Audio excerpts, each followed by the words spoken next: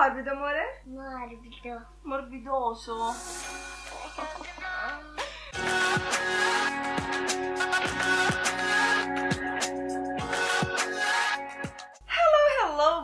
vanitose ed eccomi di nuovo qua il video di oggi rispondendo ad alcune delle vostre domande che mi avete lasciato sotto il video della cuffia diffusore. Per chi non mi conosce sono Brigida Ferracini, benvenuta al mio canale. E se è la prima volta che passi da queste parti non perdere tempo, iscriviti subito per non perdere nessuno dei nuovi video. Settimane fa vi ho fatto un video mostrando come si utilizza la cuffia diffusore e mi avete lasciato alcune domande sotto il video così ho raggruppato queste domande insieme ad alcune che mi fate molto spesso anche su Instagram che se non mi seguite ancora mi trovate come ragazzi appunto vanitosa e ho deciso di fare un video rispondendo a tutte queste domande. Ma per iniziare facciamo una breve introduzione. La cuffia diffusore è perfetta per chi ha i capelli ricci, per chi vuole attivare di più i ricci, infatti eh, punta molto sulla definizione dei capelli. Questo perché quando si indossa, si utilizza la cuffia diffusore per asciugare i capelli,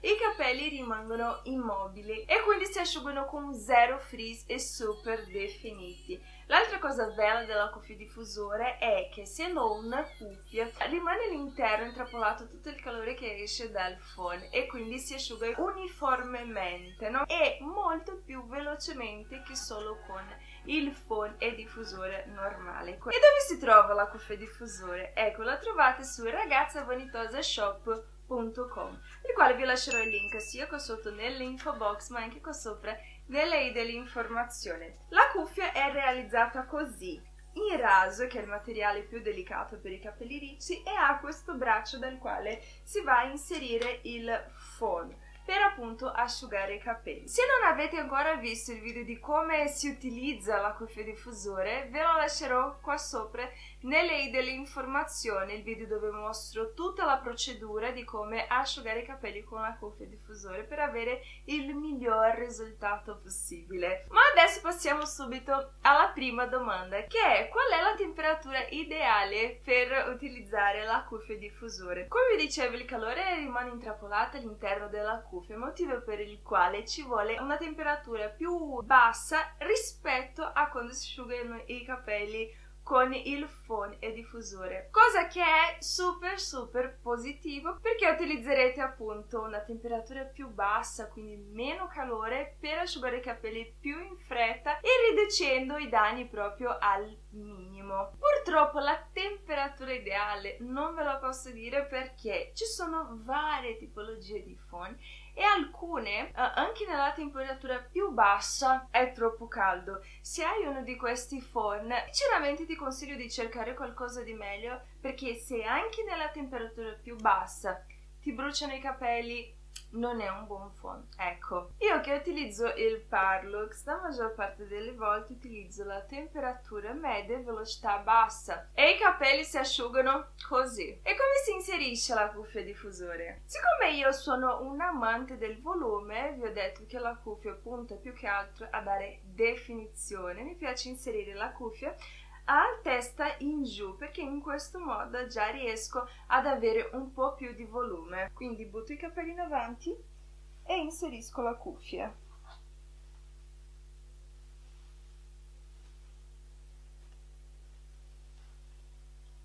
Ecco, sempre cercando di lasciare appunto il braccio della cuffia dalla parte in cui inserirete il phone perché ovviamente se io il phone ce l'ho collegato di qua, ecco, vedete che non è una cosa eh, che funziona, insomma. Questo perché la cosa più bella di tutte, secondo me, di questa cuffia è che per asciugare i capelli hai le mani libere per fare altro, per giocare col telefono, per lavorare, per mangiare, per leggere, insomma, per fare quello che più ti piace. Io di solito ultimamente mi asciugo i capelli sempre truccandomi perché così riesco a ottimizzare ancora di più il mio tempo. Ma per non divagare troppo, ecco così che come si inserisce la cuffia, ovviamente con i capelli bagnati subito dopo aver realizzato le styling. Poi ci sono alcuni trucchetti di muovere la testa durante l'asciugatura per sciogliere un po' i capelli, ma tutto questo vi ho mostrato nel video precedente. Un'altra domanda molto frequente è giustamente questa: cosa serve la cuffia?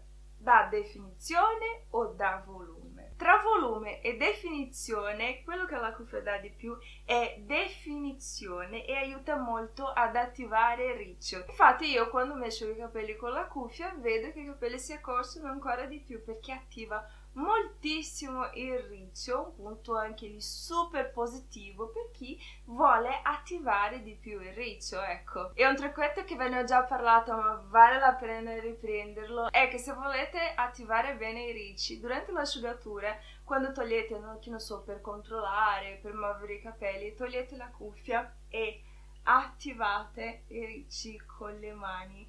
Questo darà una forma ancora più tonda e ancora più definita ai ricci che saranno appunto molto più attivati a fine asciugatura. E forse la domanda principale di questo video è ma la cuffia è compatibile con il Dyson? Partendo dal fatto che la cuffia ha bisogno di un beccuccio per tenersi appunto al phone in questo modo la cosa non è fattibile con il Dyson perché appunto il Dyson non ha un beccuccio. Quindi no la cuffia non è compatibile con il Dyson ma neanche con il uh, D-Phone sempre per lo stesso motivo perché ha bisogno di, la cuffia ha bisogno di un beccuccio per tenersi al phone. E il D-Phone è appunto tutt'uno quindi non si riesce a togliere il diffusore. Altre due domande erano in che materiale viene realizzata la cuffia e quanto tempo ci mette l'asciugatura? Per il materiale come vi dicevo è realizzata in raso così come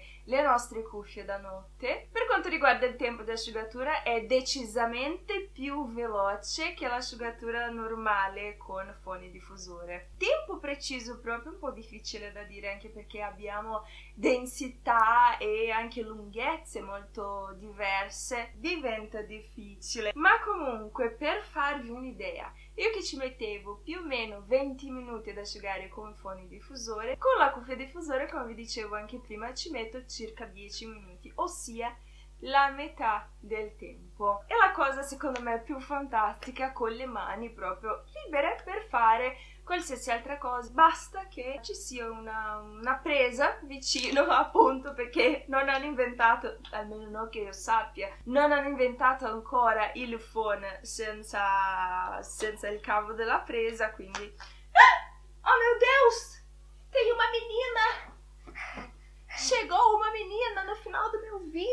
Ciao, vanitose! Ciao! Tu usi la cuffia per dormire? No. Cosa usi per dormire?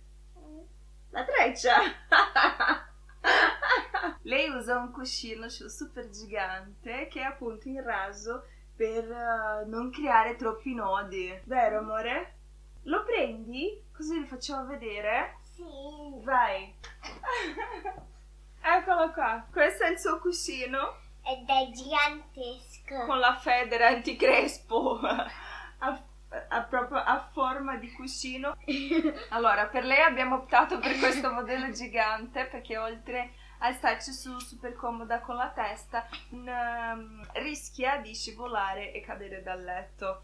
Adesso proprio informazioni aggiunte a questo video che non c'entra niente proprio. È morbido, amore? Morbido? Morbido. Morbidoso. Oh. Questo cuscino lo utilizzavo quando stavo ancora amammentando. Lo mettevo così, tra le gambe, e poi veniva lei sopra. Vieni amore, così mi appoggiava. Com'è? Comodo? Uh-huh. Era fantastico proprio questo cuscino. Adesso le abbiamo dato un'altra funzione, ecco. Questo è tutto e spero molto che vi sia piaciuto questo video. Se così fosse, lasciatemi un bel like qua sotto. E anche per me. Anche per te un bel like. e noi ci vediamo nel prossimo video. Ciao! Ciao!